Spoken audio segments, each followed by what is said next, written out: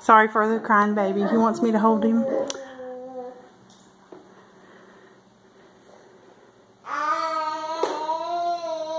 I took the vase back yesterday and went and got this vase today.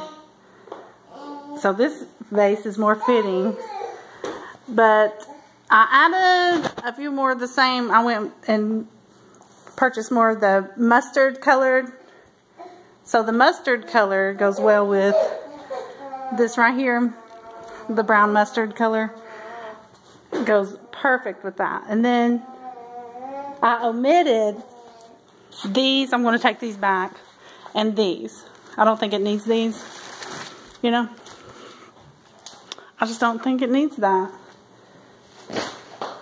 Say hi.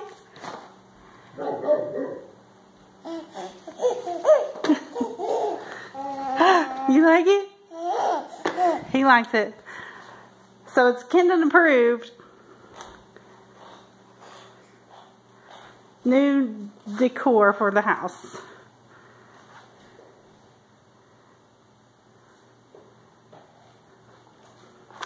So if there's any other colors or any opinions, I need your advice on what I could add or take away for this. Because, you know, once you do these, you got to get it right, or it's just not going to be right. I have some vanilla flowers, the vanilla vines. Here's another vanilla. And then there's another vanilla somewhere. Right there. But it's hiding.